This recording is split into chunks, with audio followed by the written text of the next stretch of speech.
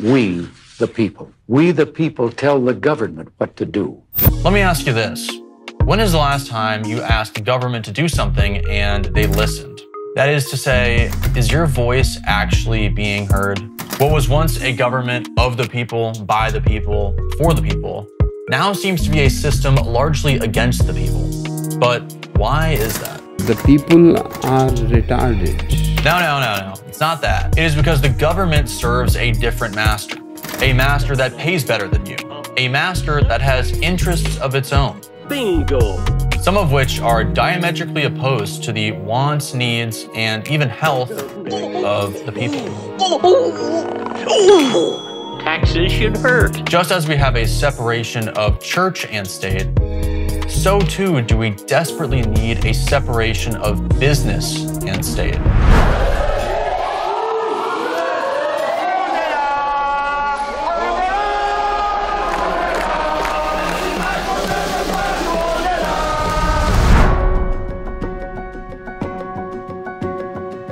Big businesses' infiltration of the government is a complex issue to tackle. So, to help us understand the issue, we sat down with comedian turned libertarian political commentator Dave Smith. Are, are, you ready to go? Sure, sure. Yeah, yeah, let's do it.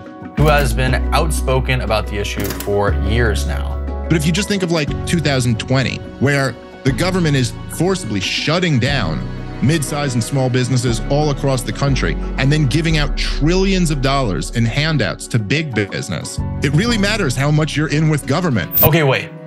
Let's back up for a second. I started this company. You know how much I sacrificed? Imagine that you are running a Fortune 500 business. Imagine all the blood, sweat, and tears you put into building something from the ground up. Now imagine that you're way ahead of the competition. You've scaled your business and your product is the go-to for nearly everyone. You've mastered the game. You have become so successful that there is virtually nothing else you can do to increase your profit, except by changing the laws in favor of your business. Now, there are two ways that you can do this, one of which is to lobby, and the other is to infiltrate or as it is officially called, capture. As you probably already know, there are systems in place to stop businesses from engaging in illegal, harmful, or unethical practices. These systems are called regulatory agencies. But what happens when those agencies get infiltrated? Take Gary Cohn, for example. Cohn is the former COO of Goldman Sachs, where he made $1.8 million per year. In 2016, he walked away from his career at Goldman Sachs to become President Trump's top economic advisor. On his way out the door, Goldman Sachs decided to pay him a whopping $285 million. A weird move to make when one of your best employees leaves. That's because there's more to this story. While at the White House, Cohn, along with another former Goldman Sachs executive, implemented a tax plan that cut the corporate tax rate from 35% to 21%. This move saved Goldman Sachs around $1 billion per year. And right after this, Cohn left his government position. He spent a mere 14 months in office. Impressive. Very nice. This corruption goes the other way as well. Sometimes, regulatory agents will quit their government jobs to work in the big businesses that they were just regulating. Just look at the FDA. In a 2016 study, researchers examined the job histories of 55 FDA staff members who had conducted drug reviews over a nine year period. They found that 15 of the 26 employees who left the agency later worked for the biopharmaceutical industry. Conflict of interest? I'll leave it up to you. This phenomenon is known as the revolving door, a pathway for government and business. In some cases, industry leaders will trade the promise of future jobs for regulatory consideration. The revolving door is criminal and corrupt, and it happens in almost every major industry. It involves both Democrats and Republicans. Creating an entire ecosystem of conflicting interests. I'm floating my resume to some big banks. How's your brother, by the way? How are you floating your resume to big banks? I mean, you're supposed to be the ones, you know, policing the big banks. I mean, Grow up, Jamie. there must be some kind of law against working for a financial institution right after you've been working in financial regulation, right? No. You often hear those on the left argue for more regulation of business, and the right argue for less government control and more free market. Unfortunately, they are caught in a false dichotomy, a illusory paradigm. It is impossible to debate the topic without recognizing the revolving door between government and business. Insider just completed a five-month investigation finding that 49 members of Congress and 182 senior congressional staffers have violated the Stock Act, um, the insider trading law.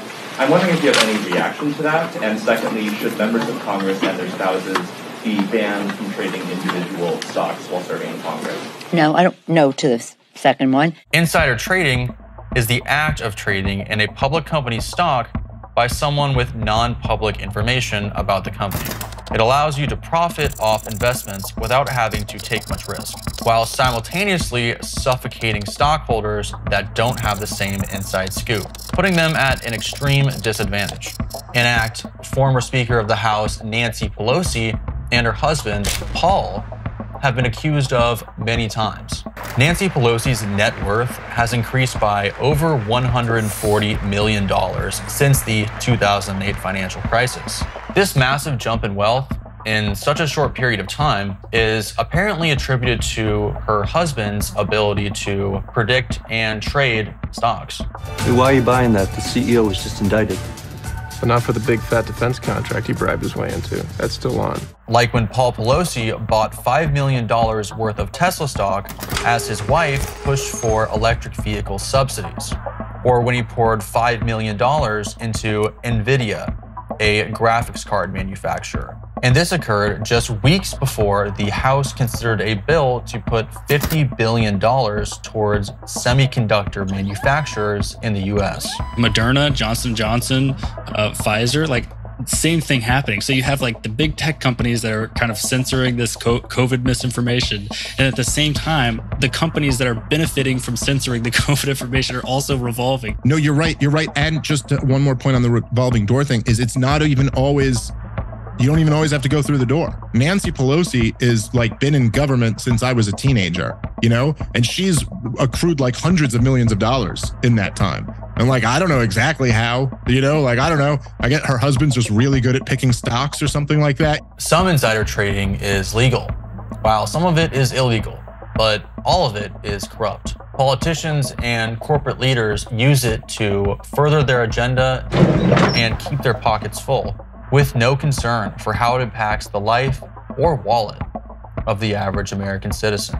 If you actually trace the history of almost any regula- uh, any regulation and or regulatory body, these things were lobbied into existence by those industries. Very wealthy interests within these industries lobbied for this regulation because it's a great way to keep your competitors out of, of an industry. The key point just stated was lobbying, a term everyone has probably heard of, but few truly understand. Let's imagine, again, that you're an extremely successful business executive, and your business has nearly maxed out its potential profits, and you see a way to make a bunch of money outside of the law. Instead of breaking it, you can simply change it.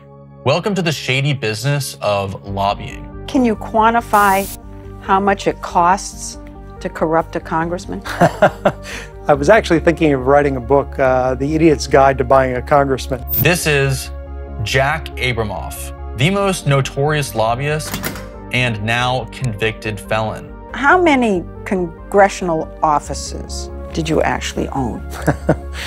uh, we probably had very strong influence in a hundred offices at a time. Come on. No. Abramoff was an expert at controlling government from the outside. He mastered the art of pushing secret agreements through political offices. Just get him the money and he'll get it done. We crafted language that was so obscure, so confusing, so uninformative, but so precise to change the US code. Here's what you tried to get right. tacked on to this reform bill. Yeah.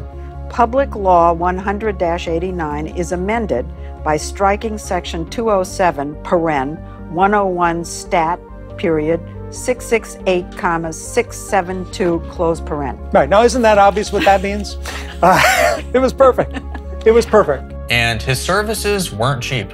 He charged clients as high as $180,000 per month. You see, those pesky laws and regulations, those are for the poor. These guidelines are not only ignored by the rich, but made by the rich. A system of the rich, by the rich, for the rich. These corporate warlords often use lobbyists to get an edge over their competitors. They do this behind some sort of guise that makes them look like the good guy. Remember when Amazon pushed for higher minimum wage for employees? That sounds like a good thing at first, but in reality, they were automating away their minimum wage jobs anyway and just wanted to put financial pressure on their competitors. This is why big businesses support the minimum wage being raised because it doesn't it, that's okay for them, but it destroys a mom and pop shop. So like they're the ones who can't afford to like pay some kid who's worth eight bucks an hour, 25 bucks an hour. Um, whereas the big businesses, they have they can get away with it. Basically, your business is hiring lobbyists to make sure that government policy reflects your interests. This could even be to simply keep government out of your business, like how big tech spent half a billion dollars lobbying the government from 2005 to 2018. Although it's possible government was the one who was infiltrating big tech. The degree to which uh, various government agencies had effectively had full access to everything that was going on on Twitter uh, blew my mind. At the end of the day, the line between big business and government is so blurry that the two are nearly impossible to distinguish. For too long, we in Washington have been lying to you. We say we're here to serve you when in fact we're serving ourselves. And why? We are driven by our own desire to get reelected. Our need to stay in power eclipses our duty to govern. That ends tonight. Tonight, I give you the truth.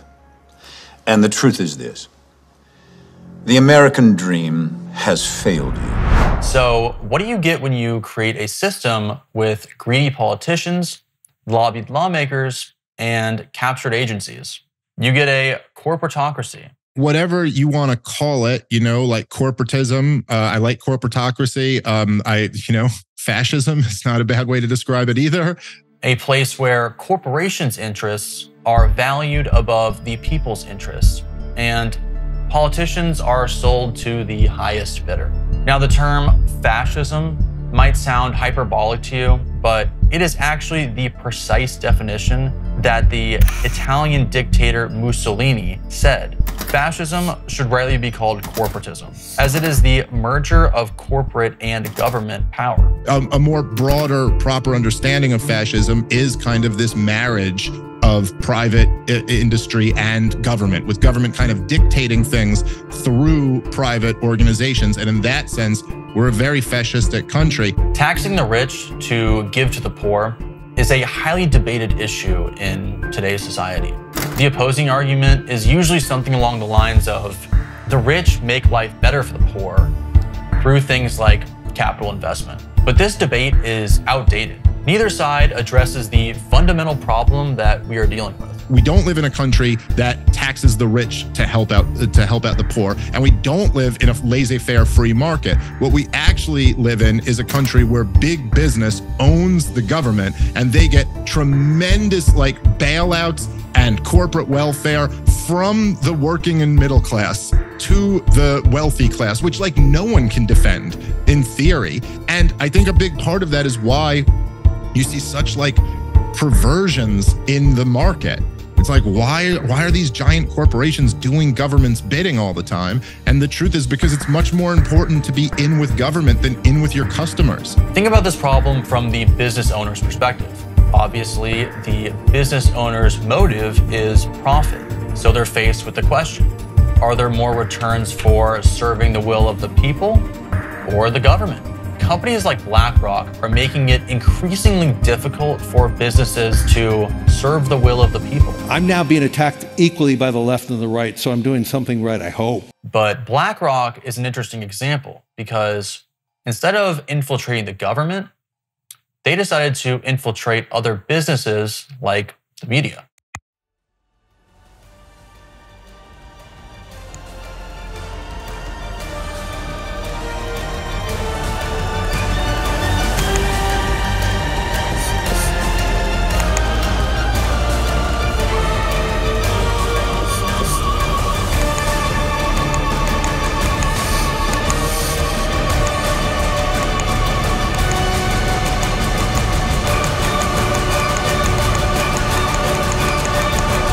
Have to force behaviors, and at BlackRock, we are forcing behaviors. The media is merely a source of potential profit, and narratives are sold to the highest bidder. It should be a real concern to all Americans that all of our major television networks are owned by very, very powerful and wealthy corporations who very clearly have a conflict of interest in terms of what they present on the air. And I think what we have got to ask ourselves are corporations like these going to provide objective information to the American people?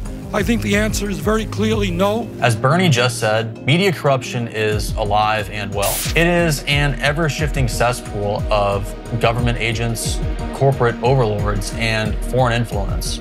One thing is clear is that you're not getting the truth. You're getting a narrative.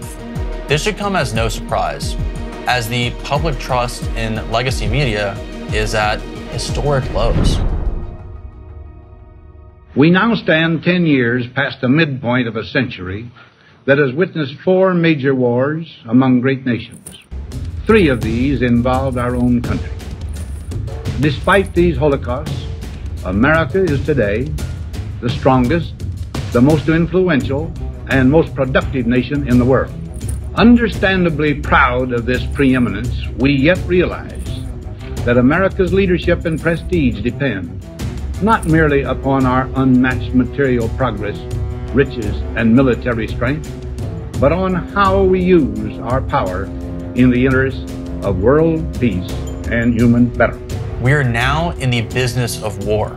Due to the military industrial complex, the network of people and companies involved in the production of weapons and military tech.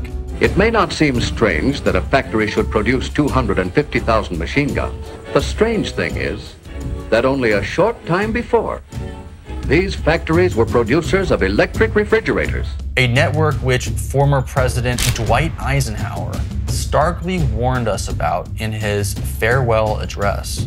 We must guard against the acquisition of unwarranted influence, whether sought or unsought, by the military industrial complex. The potential for the disastrous rise of misplaced power exists and will persist. We must never let the weight of this combination endanger our liberties or democratic processes. A warning which we haven't taken seriously enough. The military industrial complex is right at the center of it. I mean, it's the, this is the whole thing. The vast majority of the budget is the military entitlements and and interest on the debt. That's like the whole government basically. The United States war machine has only been amplified and expanded since Eisenhower's speech. But this is what you get when you create an entire industry that profits from war. You have these think tanks that are funded by weapons companies who lobby for war. The result of which not only creates death and destruction abroad, but moral decay at home.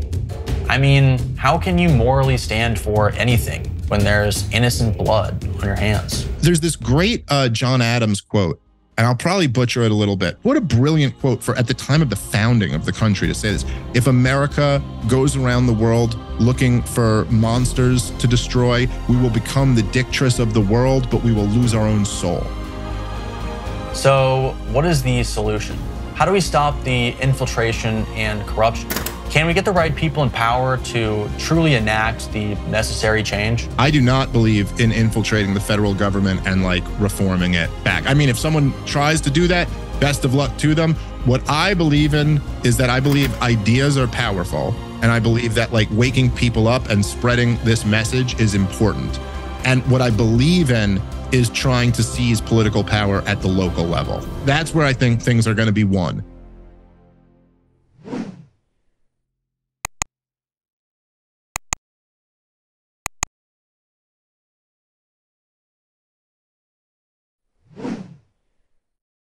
Corporatocracy.